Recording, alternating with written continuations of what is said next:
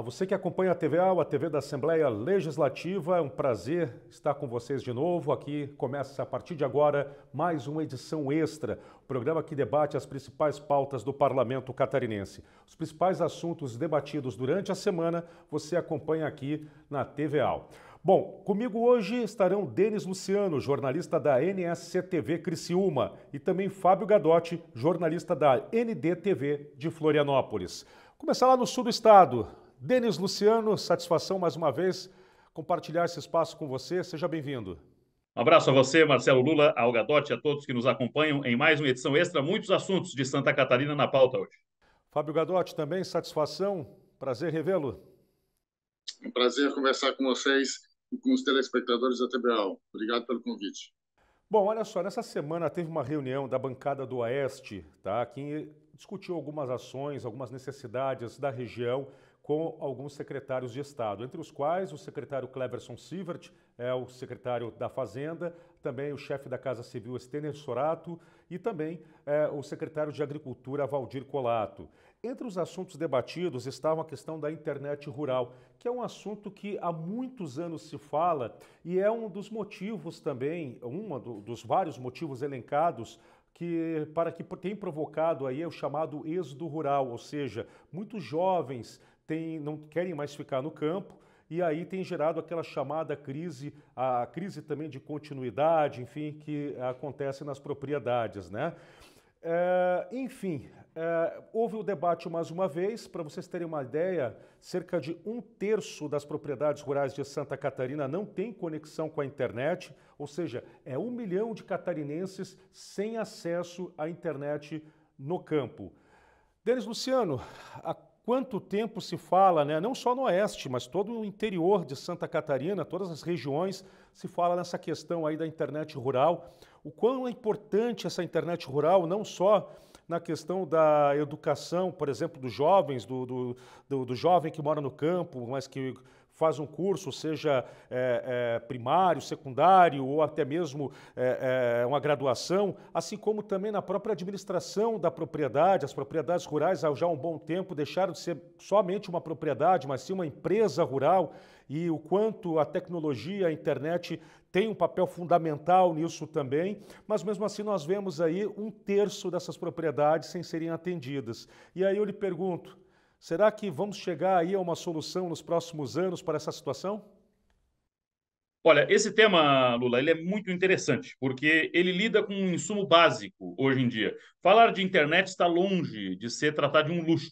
A gente trata hoje em dia de algo tão indispensável quanto energia elétrica e água. Nós estamos tratando aqui de serviços básicos nesse tocante de conexão, de andamento da economia, de realização de negócios e de providências das mais básicas da vida das pessoas hoje em dia. Nós uh, temos, e vocês vão lembrar, uma tratativa que está aí sendo postergada por conta de N fatores, entre os quais esse da conexão rural, que é a questão da emissão das notas pelos homens do campo, que estão cada vez mais obrigados a ter a sua emissão própria de notas, e, e isso depende diretamente de ter a internet. Então, como é que vai se exigir desse homem do campo um serviço que dessa monta é uma burocracia que muitas vezes está à margem de todo e qualquer cidadão que não tem o domínio disso, que aí contrata um escritório de contabilidade, enfim, um terceiro para fazer isso, se nesse caso ele sequer internet tem. Então, ter que ainda, em pleno 2023, é debater, ter que estudar alternativas para algo que está ao alcance e requer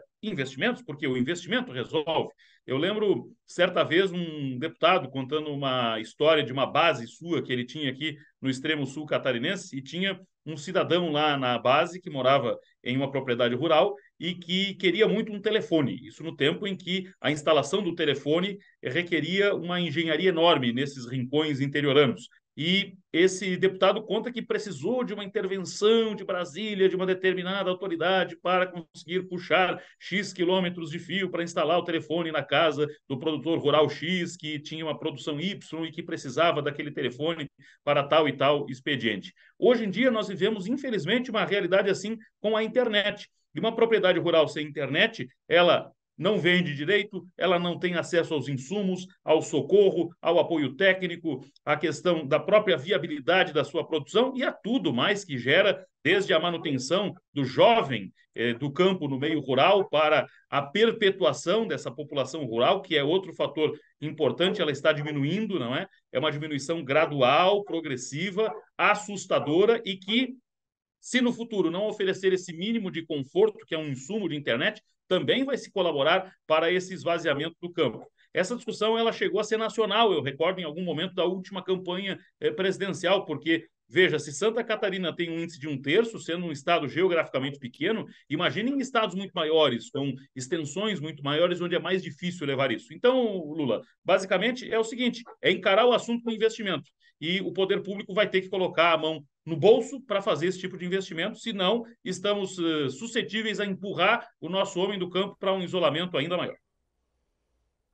Pois é. E, Fábio, é, quando nós pensamos que há toda uma tecnologia disponível para fazer com que essa internet chegue no campo, daqui a pouco é possível pensar que faltou vontade política, faltou. O que, que faltou no meio do caminho para que essas pessoas não tivessem acesso?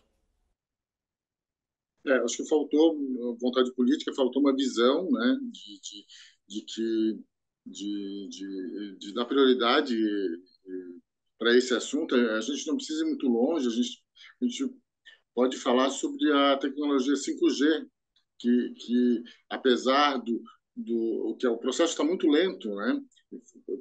Foi finalizado no ano passado a, a licitação feita pelo governo federal, os municípios estão começando a implantar e a gente ainda não, não percebe os resultados. Talvez alguns setores empresariais já consigam, mas é muito lento. Esse número de um, um terço das pessoas do, do, do uh, que não tem a internet no, no, meio rural é impressionante. Um milhão de pessoas, eu fiquei impressionado.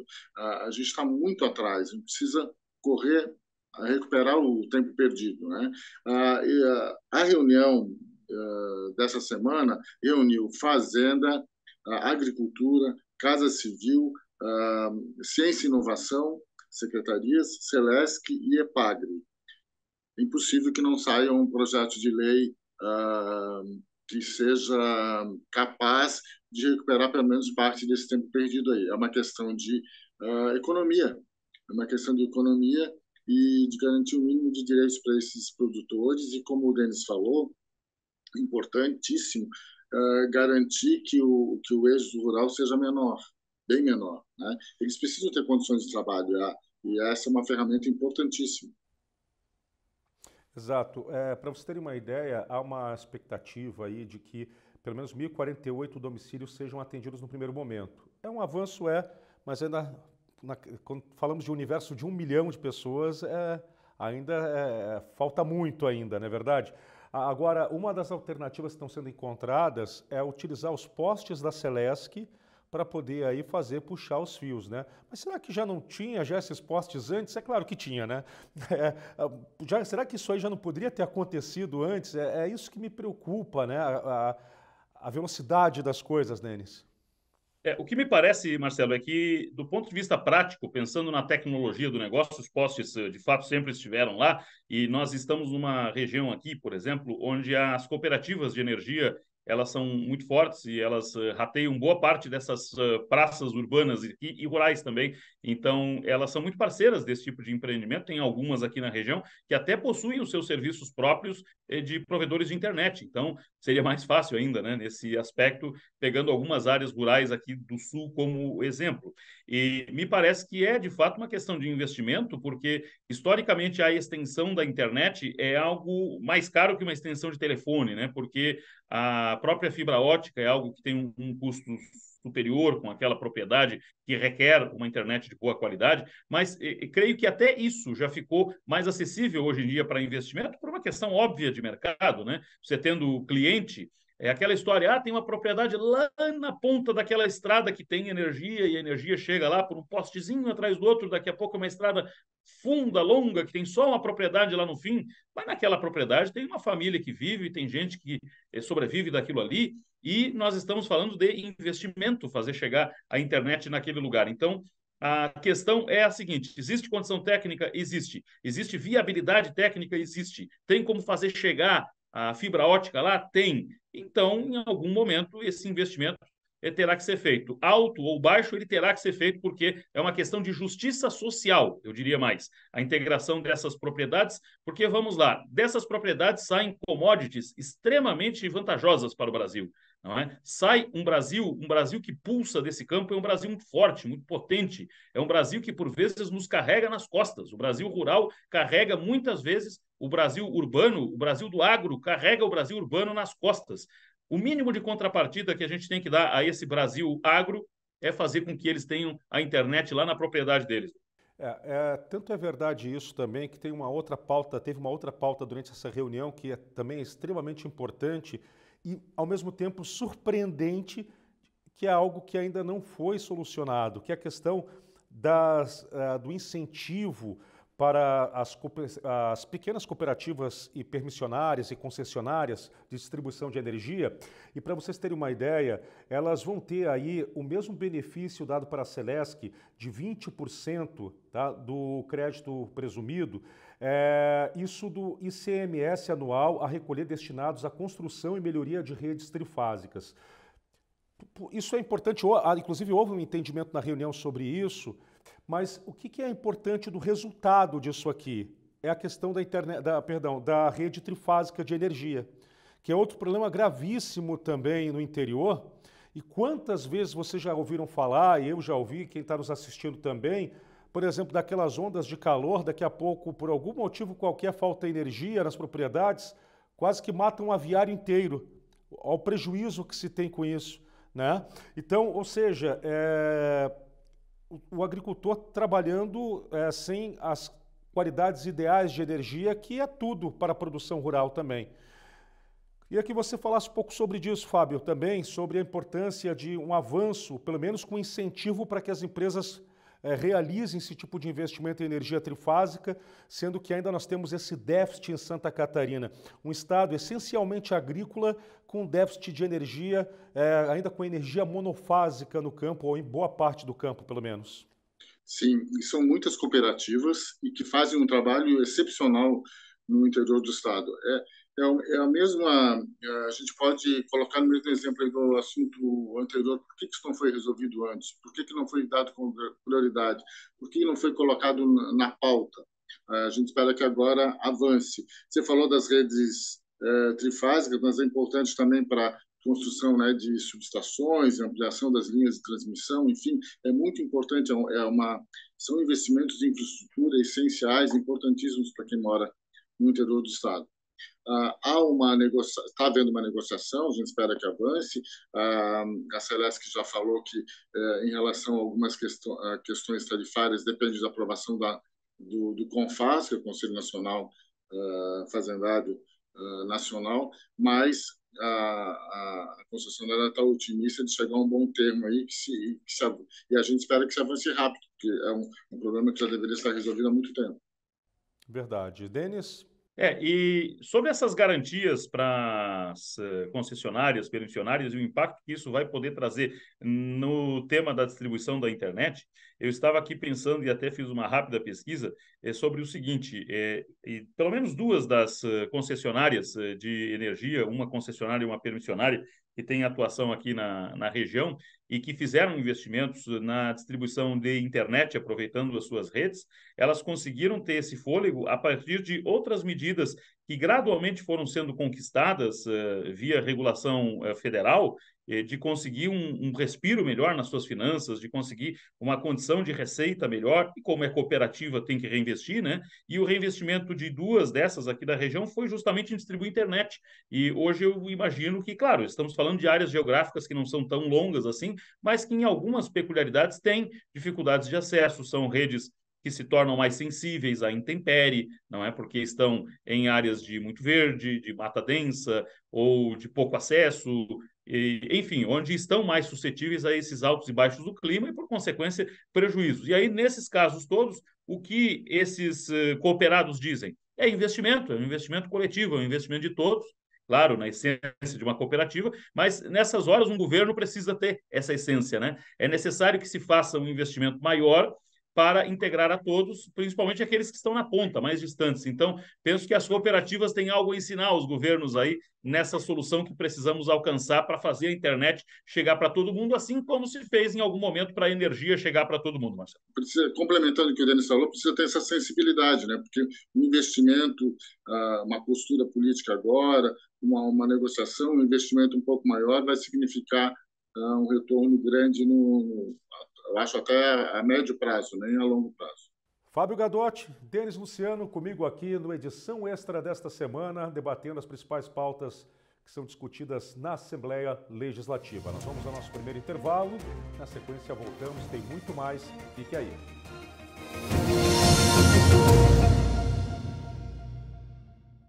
Estamos de volta com mais uma edição extra para o segundo bloco do programa de hoje. O edição extra, você sabe, todas as sextas-feiras, com reprise aos finais de semana, aqui na TVA, a TV da Assembleia Legislativa. Todas as pautas, todas as semanas, você acompanha as discussões, o que foi assunto na Assembleia, você acompanha aqui. Hoje com Denis Luciano, jornalista da NSC TV de Criciúma.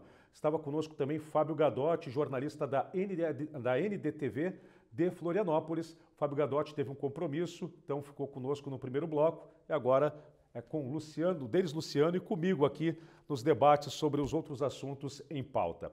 Pois bem, olha só, a Comissão de Defesa dos Direitos da Criança e do Adolescente aprovou nesta semana o projeto de lei que cria em Santa Catarina o programa é, estadual de enfrentamento da violência contra crianças e adolescentes e também a comissão intersetorial com o mesmo objetivo.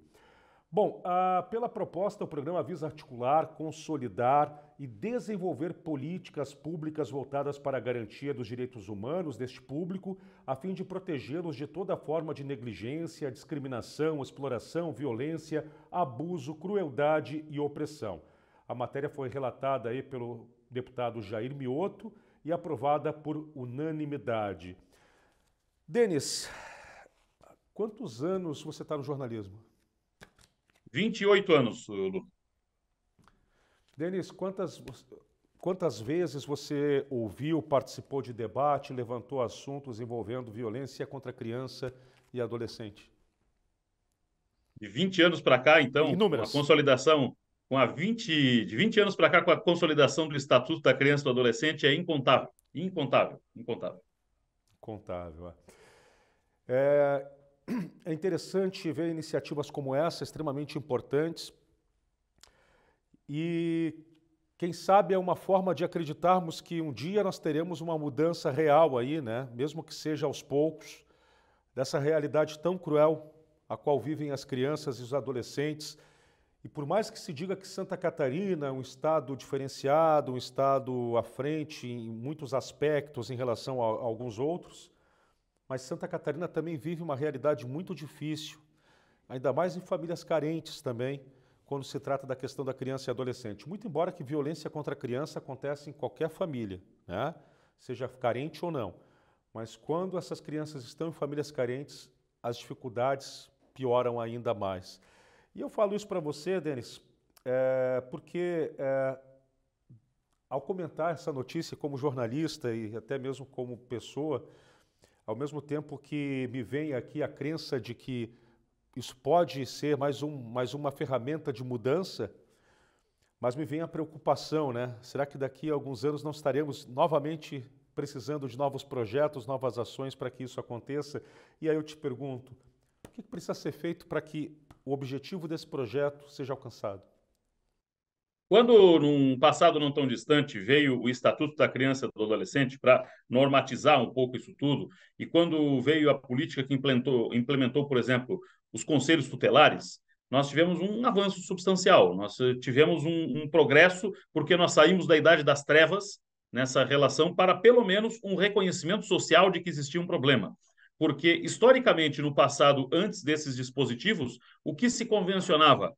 Que isso não era um tema de debate público, né? que era uma questão do íntimo das famílias, e cada família tratava como bem entendia e que a violência ficava ali, restrita aos lares o problema é que, com o passar dos tempos, se entendeu que esse é um problema de saúde pública, porque nós estamos criando adultos com problemas dos mais diversos na sua base mais íntima, que é muitas vezes o lar, onde acaba sendo vítima de uma agressão, de uma transgressão e até mesmo de um crime, como muitas vezes acontece. Então, eu vi, olhando nessa linha histórica, que o nosso limiar para virar a roda e para escrever uma nova página foi justamente implementar conselhos tutelares e consolidar um estatuto da criança e do adolescente eficaz com todas as estruturas inerentes desse estatuto. Mas aí nós chegamos naquele mas determinante, Marcelo, que é a criatividade que o ser humano tem para driblar o que é bom para fazer o que é ruim. Porque, infelizmente, com o passar dos anos, nesse acomodar natural perante as boas soluções, como no meu entendimento foram tanto o estatuto quanto os conselhos, dentro de todas as suas missões, ainda assim foram se encontrando dispositivos de relaxamento, de um resguardo dessas regulamentações de uma forma não tão eficiente, e com isso foi se perdendo aquela força inicial que existiu para conferir uma capilaridade a essa patrulha de uma vida decente, e acompanhada em prol eh, desses jovens, dessas crianças que são tão vitimizadas. Então, eu penso que a solução, a gente tem hoje arcabouço legal, a gente tem hoje já uma determinada estrutura. O que nos falta, Marcelo, é a grande chave para o nosso país: educação. A gente precisa formar futuras gerações que entendam que a violência não é solução, que a violência não resolve, que a violência ela não pode nem ser o último recurso, ela não pode ser um recurso. Infelizmente, nós ainda estamos muito distantes de uma cultura de paz que avizinhe às futuras gerações que a violência não leva a lugar algum. Então, nós temos um problema muito maior, um problema estrutural. Mas, para chegar numa solução a isso, é preciso fazer algo. Por isso que penso que esse movimento de agora é salutar. Ele tem uma missão de provocar o que já existe, né, para melhorar isso papel, por exemplo, da escola. A escola tem um papel decisivo, não só na questão natural de educar, que eu estava falando há pouco, mas também de ser um ponto de observação eficiente e próxima, às vezes muito mais que o lar. Nesses tempos em que o pai e a mãe ficam tão pouco com os filhos e muitas vezes eles ficam mais na escola ou deveriam estar mais na escola, a escola tem que exercer com precisão esse papel de estar ali resguardando, não apenas formando, mas resguardando e analisando se aquele jovem, se aquela criança está bem cuidada, está segura ou não está sendo ferida ou machucada, enfim. Então, penso que nós vivemos um problema maior de engrenagem social e iniciativas como essa servem para provocar os dispositivos que existem para que a coisa melhore, viu? Agora, é, iniciativas como essa seria importante esse controle social, como você bem disse, né? É, porque as leis são interessantes, né? o que elas propõem, inclusive de dar oportunidade a essas crianças para que sejam crianças, possam brincar, possam estudar, possam ter os direitos mais básicos garantidos. Mas eu acho que na ponta também não está faltando um pouco mais de uma fiscalização maior sobre o cumprimento disso, dos direitos. E eu te falo isso porque nós somos um estado com uma considerável, com um considerável número de evasão escolar, por exemplo. Né? Então, ou seja, é, será que daqui a pouco não está faltando lá na ponta também uma fiscalização maior, a fim de que se garanta é, o cumprimento né, dessas ações que nada mais são do que atender a um direito básico, não é a favor nenhum do Estado, é direito básico dessas crianças. É, e aí quando chegamos na evasão escolar, a gente chega na ponta que eu falava há pouco do dever que a escola tem de participar desse processo não somente como uma receptora fica ali naquele período, dá a nota, aprova no fim do ano e pronto. É preciso ir além disso, né? E a gente nota quando há esforço é, da escola, e aí a gente precisa falar que esse esforço requer uma conjuntura e uma estrutura. Se você coloca lá uma escola com uma estrutura mínima, mega enxuta, com meia dúzia de professor para cuidar de um mil alunos, não vai conseguir fazer esse papel fiscal que penso a escola pode fazer. Agora, se você tem uma escola com uma estrutura mínima, nem que seja, nós vivemos uma tendência nos médios e maiores centros urbanos, e daqui a pouco nos menores também, de cada vez mais centralizar o atendimento escolar em cada vez menos escolas mais especializadas.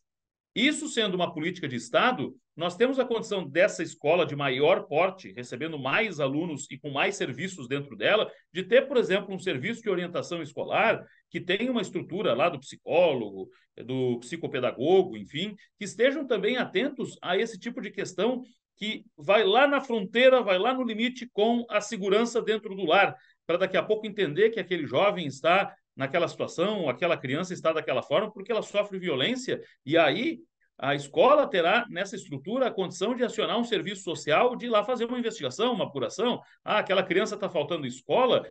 Em alguns casos, quando a escola é melhor estruturada e o município entrosa melhor esses poderes, isso acontece de fazer uma busca ativa, de apurar aquele caso, por que, que está faltando, daqui a pouco tem relação com uma omissão no lar, com uma violência no lar. Olha, há muito o que ser feito. Nós temos eh, boas iniciativas, mas muito isoladas, muito parciais, muito distantes. O que a gente precisa é unificar essa linha de ação, porque, reitero, eu acho que armas a gente tem, do ponto de vista legal, existe já uma condição de melhorar isso. O que falta, concordo contigo, é fiscalizar isso tudo, para fazer essa lei funcionar, para que não estejamos tratando o Estatuto da Criança e do Adolescente, por exemplo, como mais uma de tantas leis no país que se faz só para preencher papel. Sabe que entre tudo que você falou aí, que tudo é importante, mas uma me, me fez pensar que é a questão também da, familiar, né? Porque daqui a pouco na escola, tendo um atendimento psicológico, por exemplo, você vai observar, vai conseguir detectar a, a, como é a vida daquela criança na sua família, por exemplo. Se sofre violência, se sofre abuso, enfim. Daqui a pouco, é claro que tem as agentes de saúde que já vão as casas, já fazem visitas, mas eu não sei até que ponto, eu sendo muito franco com você, eu nunca recebi um agente de saúde na minha casa, então eu não sei como funciona. Mas é, sei por, por estudar, por, por, por perguntar, por, por, por, mas na prática eu nunca acompanhei. Mas eu não sei até que ponto também é, há uma observação do ambiente daquele lar. Porque daqui a pouco você pode tirar a criança por algumas horas daquele ambiente para ficar na escola ou até para ter atividades extracurriculares, mas talvez você também não está, você não consegue ter acesso ao que ela vive dentro da família. E talvez dentro do que ela vive na família seja tão desagregador que o que está sendo feito no fora, no exterior, né, fora, fora de casa, é óbvio que vai ajudar, vai ter o seu papel, mas talvez não consiga o resultado total, justamente porque quando chega em casa ela tem todas as dificuldades é, e que nós sabemos que muitas famílias sofrem, inclusive de violência, de abuso, até porque vale destacar que abuso e violência, a maioria dos casos é feito por pessoas próximas, por, por parentes próximos também.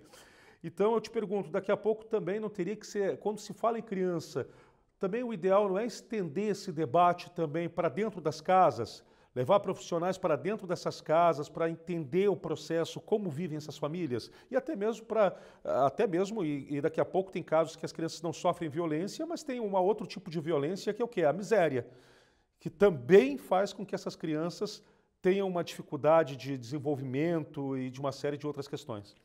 Muito interessante o que, o que você coloca, a observação da miséria como um critério porque é um critério de desagregação uh, familiar e que nessa dissolução do conceito familiar leva aquele jovem, aquela criança a descaminhos. Daqui a pouco ela fica ao alcance do cara da droga, ela fica ao alcance do cara que vai desencaminhar, ela perde essa conexão familiar e vamos lá, é chovendo molhado dizer que a família é alicerce, é cerne, é ponto de partida ou deveria ser e quando ela perde esse esse fator, esse diferencial, fica aquele jovem, aquela criança muito mais suscetível. Então, concordo plenamente que os agentes comunitários de saúde, que são outra conquista enorme da universalização da saúde, da implementação do Sistema Único de Saúde, eh, do, enraizamento da, da chegada da saúde pública nos bairros. Se o Brasil tem algo que, por mais ressalvas que se faça, mas se o Brasil tem algo que socialmente acoplou, envolveu, foi o Sistema Único de Saúde. E nesse contexto estão agentes. Eu já fui visitado uma vez, até não faz muito tempo, foi nesse ano, por uma agente comunitária de saúde, do bairro onde eu moro, passou lá, bateu lá em casa, conversamos e tal, e a gente conversou bastante. Aí ela me conhecia, aí a gente trocou uma ideia, enfim, com a gente lá do meu bairro, e aí eu pude conhecer um pouco da atividade de, dessas agentes comunitárias de saúde, que é, claro, muito mais focada na saúde básica, eh, não aprofunda tanto para essas questões do social, mas eu penso que teria plena condição, sim, de ser essa parte da ponta a fazer essa educação em casa sobre a necessidade de uma saúde familiar para que a convivência social em família seja substancial, seja é, é, possível. Agora, eu insisto que a escola é uma ponta mais determinante ainda. E quando eu olho aqui a essência do programa, e eu estava lendo mais a respeito do programa estadual de enfrentamento da violência contra crianças e adolescentes, eu noto que ele tem uma prerrogativa básica muito boa, mas que se alicerça em cima de elementos que já existem. Então, a gente possui as ferramentas, o que nós não temos, o que é muito comum de serviços de amparo social no Brasil, Marcelo, é a falta de conexão entre esses serviços. Né? Então, se a agente comunitária de saúde está imbuída disso, se a escola está imbuída disso com uma estrutura mínima para isso, eu penso que a nossa capacidade de vigiar e proteger essas crianças e esses adolescentes vai aumentar muito. E às vezes nem é questão de investimento. É só questão de entrosamento dessas forças. É só questão de fazer elas dialogarem, elas terem uma agenda comum. Então, se um programa desse nos levar a uma agenda comum, penso que nós já estaremos num bom caminho. Eu vejo com um certo otimismo. Eu acho que nós estamos conseguindo gradualmente, e eu digo isso na perspectiva de quem tem um filho é, que agora está entrando na vida adulta e um filho bebê, e, ou seja, eu estou nas duas pontas aí acompanhando a educação e os meus dois filhos são de escola pública, estudam em escola pública, e eu consigo acompanhar que nós temos, pelo menos nesses particulares, em outros que eu conheço mais próximos, nós temos boas iniciativas escolares no sentido também desse monitoramento, de por que aquela criança está daquele jeito, por que se comporta daquela forma. Então, eu vejo com um certo otimismo. Eu acho que estamos timidamente caminhando para ir minimizando cada vez mais, humanizando essas relações, normalizando essas relações no lar. Mas, se não fizermos uma fusão, um entrosamento dessas forças, vai demorar muito mais, vai demorar mais de duas, três gerações, e a gente não estará aqui, infelizmente, para ver esse novo tempo que a gente espera tanto, viu, Lu? Ah, se Deus quiser, estaremos sim. Vamos a mais um intervalo agora. Na sequência, voltamos, que tem muito assunto ainda pela frente. A edição extra, programa que discute os principais temas aí debatidos pelos deputados na Assembleia Legislativa. Estou com Denis Luciano, jornalista da NSC TV Criciúma. Intervalo, já já voltamos.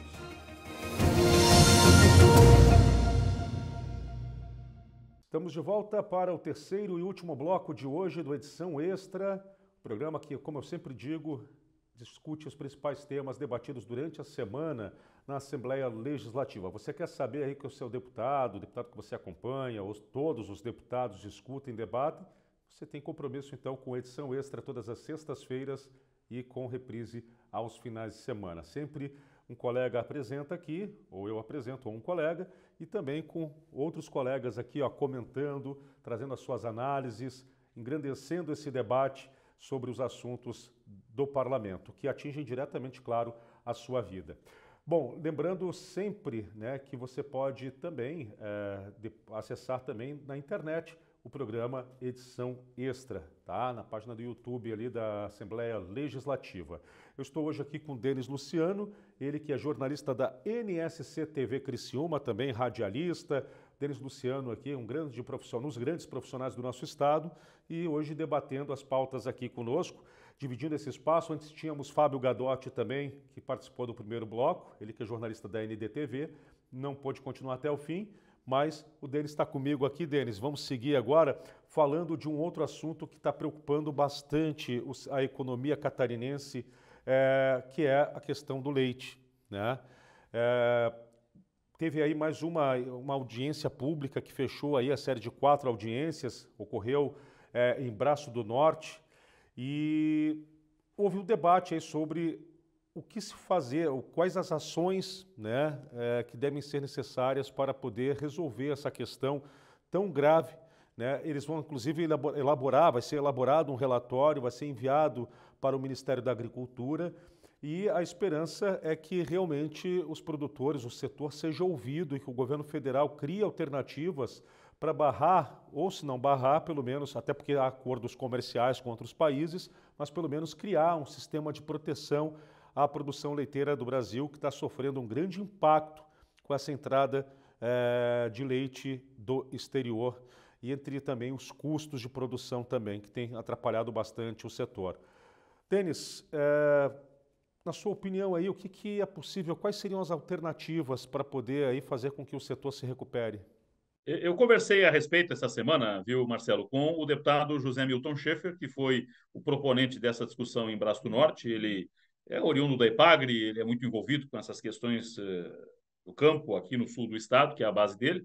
E em Braço do Norte, nós temos dois dramas que andam lado a lado e que se relacionam em função do mercado local e regional, que é a questão da bacia leiteira e a questão da suinocultura. E a nossa audiência vai lembrar que no ano retrasado, mais ou menos, nós tivemos uma situação tão grave da suinocultura em função da concorrência externa que eles chegaram nessa mesma cidade de Braço do Norte, que é aqui na nossa região, a fazer um, um protesto público em que eles levaram é, algumas toneladas de carne suína para a Praça Central e protestaram distribuindo essa carne para a população, porque está absurdamente inviável para o suinocultor manter lá a produção com o suíno sendo engordado para depois o abate, para o corte, a comercialização, enfim, porque não existe incentivo do ponto de vista econômico. E o leite hoje vive exatamente a mesma situação. Se a coisa não mudar, nós estamos sujeitos daqui a pouco a ver aqueles protestos que são tristes, né? Quando a gente vê a turma derramando leite, protesto por aí, não é? Aquilo é extremamente tocante. Doar também, né? É. é, também, também. Num país onde se passa tanta fome, não é? Nós chegarmos desse é. ponto prova que nós vivemos uma desconjuntura, um descompasso entre as questões da economia e da realidade e Braço do Norte desenha isso com essa cadeia leiteira que é muito forte, é muito expressiva, é muita gente que é da pequena produção, da média produção, da produção de maior porte que está aí adquirindo desses pequenos, cooperando, engarrafando esse leite, invasando esse leite, mandando adiante. Só que essa turma toda sofre uma pressão externa extremamente desvantajosa para nós na questão dos impostos. Nós voltamos à questão de não existir uma política de impostos local, estadual e regional. Paraná e Santa Catarina e Rio Grande do Sul têm dificuldades semelhantes. Nós, nesse caso, não concorremos entre nós e nós apanhamos dos demais mercados, inclusive do exterior internos do Brasil, mas também dos países vizinhos. Está muito mais fácil para um revendedor trazer um leite da Argentina ou do Uruguai do que eh, levar adiante, colocar na sua prateleira um leite brasileiro não é? É muito mais fácil você vender um leite do Uruguai do que um leite de Braço Norte. Isso aí é um negócio absurdo, pensando-se numa proteção de um mercado interno, porque, em nome de integrações regionais e econômicas, se sacrifica o pequeno de dentro do país. Isso não é integrar, isso é massacrar. Então, estamos nós criando vantagens para sermos bons vizinhos dos argentinos, dos uruguais ou do leite, sabe-se lá de onde, sendo que nós não temos um, uma condição de impostos que contemple minimamente, com o um mínimo de igualdade de condições, aquele que está aqui dentro. Famílias aqui, brasileiras, irmãos brasileiros, catarinenses, que estão tentando sobreviver desse trabalho, que, além do mais, é uma atividade extremamente regrada do ponto de vista sanitário, e assim tem que ser, muito controlada, exige muito investimento em controle de qualidade, na temperatura do armazenamento, na forma é, é, de manter esse gado leiteiro. Enfim, não é fácil é, é, viver dessa produção, longe de ser aquela ideia que as pessoas têm que é uma vaquinha ali no pasto, que vai lá o tio de manhã cedinho. E não, é algo extremamente hoje em dia mecanizado, que requer um investimento, que requer gente para trabalhar, que requer credencial para que esse leite possa sair da propriedade e ser vendido. Então, o que nós temos nesse momento, Marcelo, é um massacre econômico ao nosso produtor de leite de Santa Catarina. Se ele não for envolvido numa política de impostos mais favorável para ter margem e conseguir sobreviver, nós vamos de mal a pior num segmento que já foi diferenciado aqui em Santa Catarina. É, para vocês terem uma ideia, é, dados oficiais aqui, as importações brasileiras de lácteos de janeiro a maio de 2023 tiveram um acréscimo de 212% em relação aos primeiros cinco meses de 2022, ou seja, aumentou, tá? Brasil já importou principalmente da Argentina e do Uruguai 850 milhões de litros de leite, volume que no ano passado foi atingido só em setembro. Bom, é, os fatores aí é, que têm levado a isso, a queda considerável no preço do produto no exterior e a leve melhora que o real teve em alguns momentos também, que estimulou essa importação e que tornou a, a concorrência quase que desleal com o produto brasileiro. Agora, é, o que preocupa é que o, aqui em Santa Catarina, essas audiências que são extremamente importantes, que estão sendo realizadas, elas servem para criar o quê? Um documento que vai ser enviado ao Ministério da Agricultura. Agora, a decisão é Brasília. Né? E a preocupação é a inércia do Ministério da, da, da Agricultura, a inércia do, do Ministério da Fazenda é, nessa questão tão preocupante né, e que está atingindo o setor produtivo em cheio. Né? Então, ou seja, é, até agora se fala que estão se buscando soluções, mas até o momento não teve uma solução prática para essa questão e que está quase que quebrando toda uma cadeia produtiva, Denis. Nós já vimos outros setores que, nesses momentos de abertura excessiva ao externo, padeceram muito. Nós tivemos já aqui no Sul, por exemplo, Marcelo, uma expressiva cadeia do setor calçadista, do setor do vestuário. O vestuário nem tanto, mas o calçadista foi um que, de décadas para cá, foi extremamente massacrado por uma vantagem do externo de produzir com um custo mais baixo e de vender com uma margem melhor, de conseguir oferecer melhor preço. Esse 200% aí de salto na, importação dos lácteos que você refere com propriedade não é simplesmente porque o leite é mais branco, é mais bonito, é... não, é porque ele tem lá o mínimo de qualidade e ele chega mais em conta. É mais barato botar na prateleira um leite que venha do Uruguai do que o que venha de Braço do Norte. E, e isso, Exato. reitero... Frente a toda a inflação, tudo, toda, tudo que a crise que nós passamos, isso faz com que as pessoas, quando vão no mercado, elas não vão parar para olhar se é, o produto é brasileiro ou, ou, ou estrangeiro, elas vão comprar o mais barato. Isso é um fato. É, e muitas vezes o sujeito vai pegar ali a caixinha do leite, vai olhar e tá ok, é uma empresa daqui, daqui a pouco tem uma marca conhecida, só que o leite que está ali dentro não é daqui. Porque para aquela empresa valeu mais a pena buscar o leite lá de fora do que comprar o nosso leite aqui por uma razão econômica. E pensando em capitalismo, em roda da economia, é compreensível. Aí quem erra? O governo enquanto árbitro da questão. E você coloca muito bem, a questão é nacional. É claro que o Estado pode interferir em alguns detalhes, pode, mas o, o, o, macro disso é uma política nacional que hoje, em nome de acordos que são feitos com países vizinhos, com mercados vizinhos, acaba se ignorando micro-realidades locais, por isso citei o, o calçadista como um exemplo longe, mais perto do leiteiro, porque perto nessa implicação com o mercado externo, logo os governos eles precisam ter mais responsabilidade quando celebram esses pactos, porque eles não podem, celebrando pactos, massacrar os seus em nome de uma parceria com o externo. Tem que achar um meio termo nisso, para que, no mínimo, exista condição de igualdade, para que o produtor daqui possa, no mínimo, competir e ter um resultado digno daquilo que ele produz, que é o que não está acontecendo hoje. Olha, tem produtor, o pequeno principalmente, viu, Marcelo? Que aqui da região ele está começando a abandonar. E isso é extremamente preocupante, porque daqui a pouco, na hora da retomada, vai faltar produtor. Quando chegar a hora da retomada, vai faltar produtor para atingir a cota de leite que a gente precisa para o nosso país.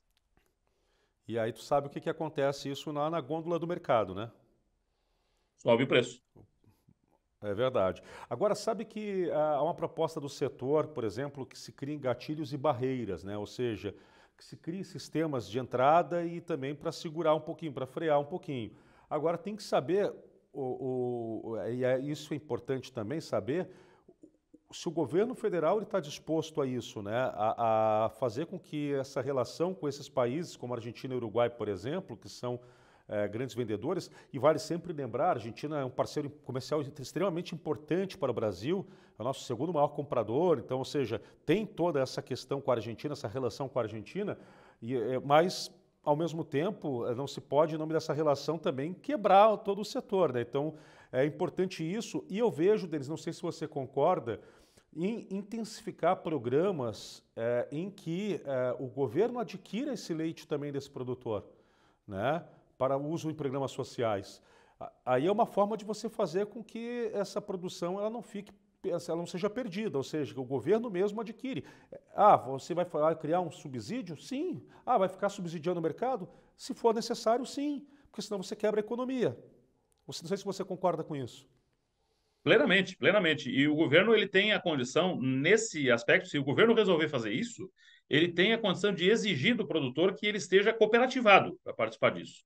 É? Cooperativa une forças, tem as suas cotas dentro das determinadas cooperativas e nós vamos lá adquirir daquele cooperativado, não do individual, para evitar qualquer situação que é muito do Brasil né, nessas horas. Então, existem dispositivos para isso. É uma questão de vontade política, não é? É uma questão de entender que é preciso balancear o externo com o interno, e é questão de ter esses filtros e o gatilho para isso, penso que mais viável, mais próximo, para evitar incidentes diplomáticos na economia, né, seria de fato um realimentar interno com a aquisição pelo governo. Isso já se fez em crises anteriores, muito maiores, inclusive, né?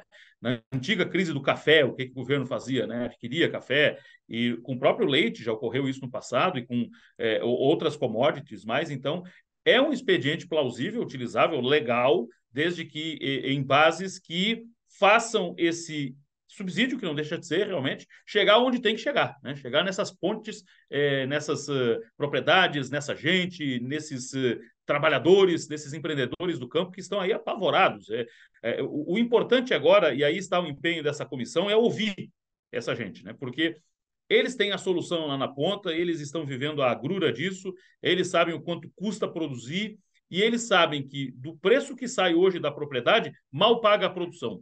E isso por si só já não é digno, já é fora de qualquer questão de mercado. Não existe hoje uma prática mercadológica. Eles produzem o leite para ter a subsistência.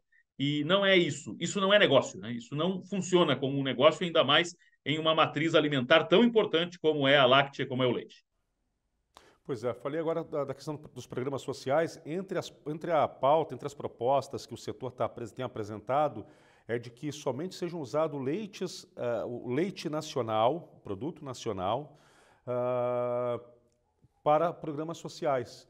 Né? Eu estive há pouco tempo no Chile, uh, em Santiago, e, ele, e lá há todo um, uma, um, um movimento de fortalecimento do setor leiteiro. Não que eles não importem, eles importam, mas, por exemplo, em toda, eles, criaram, eles criaram uma campanha em todas as caixinhas, ou, leite, ou seja, de lata de leite em pó ou, ou, em caixinha, tem ali a bandeira do Chile ordenhado, é, ordenhado no Chile.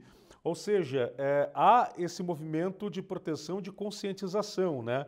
Aí, aí, aí, aí, claro, aí nós vamos falar, bom, você faz a conscientização, mas as pessoas vão ter dinheiro para comprar, né, se o leite for mais caro, aí voltamos para falar sobre subsídio, o que seria extremamente importante. Rapidamente, Luciano, Denis, é, teve uma audiência, mudando um pouquinho de assunto aqui, é, teve uma audiência pública é, nessa semana para discutir a questão dos 14%, né, daquele projeto do deputado Fabiano da Luz, também tem aí um projeto de iniciativa popular também, é, que está na Assembleia Legislativa, sobre a questão dos 14% dos aposentados. Daquela, da, da, da, porque o que, que acontece? Quando teve a reforma previdenciária em 2021, se estabeleceu ali é, que os aposentados também que não atingiam o teto do INSS, da casa dos 7 mil reais, também passariam a contribuir e agora tem todo esse movimento para tirar essas pessoas. O governo fez um aceno, ainda não apresentou o projeto, fez um aceno para que se possa ter, então, é, uma, um corte escalonado os deputados não estão muito, é, é, não concordam muito com essa questão, com essa possibilidade de escalonar esse corte e estão, estudando uma próxima, uma outra possibilidade aí para poder é, tirar ou, acabar com esse desconto das pessoas que, dos aposentados que ganham menos. só que tem um detalhe nisso tudo, né? É o governo abrindo mão aí de cerca de um bilhão né, se caso cortar esse, esse, esse desconto dos aposentados e cortando um bilhão de uma previdência que já está deficitária há muito tempo. Né? Então, ao mesmo tempo que tem que se olhar para essas pessoas, sim, que é, tem que ter esse olhar social, mas ao mesmo tempo se precisa olhar também para o setor previdenciário catarinense, que se continuar nessa toada, daqui a alguns anos há risco de pessoas, as pessoas não receberem mais as suas aposentadorias, por causa da quebra do sistema previdenciário mesmo. Pois é, Marcelo, sabe que quando a gente teve lá atrás, em 2021, a reforma que você referiu há pouco, eu tenho uma visão muito radical disso. Penso que nós tivemos um, um desvio que vem na origem dessa discussão e que foi muito mal arranjado e terminou no que termina agora. E penso que o governo Jorginho Melo ele comete uma ousadia do ponto de vista positivo em permitir retomar esse debate que é extremamente importante, porque a recente reforma ela castigou, ela puniu muito quem ganha menos. E ao punir quem ganha menos, primeiro, ela aumentou um fosso enorme que existe entre os que ganham menos e os que mais ganham, embora é óbvio que numericamente são muito mais os que menos ganham e menos numericamente os que mais ganham, mas se a gente somar cada bolo, né, seria muito mais salutar do ponto de vista matemático você tirar um pouco mais da parte de cima da pirâmide e um pouco menos da parte de baixo da pirâmide por uma questão de justiça social. E aí residiu o erro da discussão feita às pressas no afogadilho e da forma que se fez na vez passada. É claro que existe uma urgência orçamentária, não tem dúvida. Os números apresentados pelo secretário Cleverson, pelo presidente do Instituto de Previdência, eles são assustadores. E eles sempre são assustadores, sempre foram. Né? Você mais cedo fez um, um, questionamento: há quantos anos a gente fala disso, daquilo, daquilo outro? E eu te devolvo a pergunta agora: né? há quantos anos a gente sabe que existe a cada ano um precipício sendo posto à nossa frente, que ele está cada vez mais próximo da insolvência de todo o sistema previdenciário, se a gente for fazer uma análise por municípios, é um negócio pavoroso, nos estados maior, em nível nacional, é um negócio assim assombroso e assustador. E eu vi ali no meio das providências uma que me parece salutar, e aí, claro, aqueles que questionam o tamanho da máquina pública já se ergueram, mas como? Que seria a questão de absorver mais mão de obra para os quadros do Estado que são necessários e que sejam via concursos públicos, porque daí nós estaremos aumentando a força de trabalho ativa, não é? Com menos eh, ACTs, com menos provisórios, que acabam não contribuindo da mesma forma, e com mais gente contribuindo, também é uma forma, claro que aos poucos, né? Que não vai resolver todo o problema, mas pelo menos é um aceno. Então, o que me anima disso tudo é que, pelo menos, se criou um ambiente para uma rediscussão em favor daqueles que menos ganham e que foram extremamente punidos no episódio da reforma passada, e parece que estava por isso mesmo. Então, agora, o fato de a Assembleia encarar um tema tão espinhoso, tão delicado, e o governador também encarar um tema tão delicado, traz uma notícia positiva. Pelo menos estamos voltando a desnudar para a sociedade algo que, no meu ponto de vista, foi construído numa base extremamente injusta, viu, Lu? Denis, eu quero agradecer a sua participação aqui no programa de hoje, trazendo toda a sua experiência, sua análise sobre os principais assuntos discutidos na, discutidos na semana na Assembleia Legislativa. E é claro que Logo, logo, se Deus quiser, teremos novo encontro aqui para debater outros temas também. Um grande abraço, muito obrigado. Denis Luciano, jornalista da NSC TV Criciúma e radialista também, muito bem ouvido lá em Criciúma. Um abraço. Um abraço, muito obrigado a todos e até uma próxima oportunidade. E a você eu deixo o meu abraço também, agradecendo como sempre a sua audiência. Você sabe, edição extra todas as sextas com reprise aos finais de semana aqui na TVA, a TV da Assembleia Legislativa. Um abraço e até o nosso próximo encontro.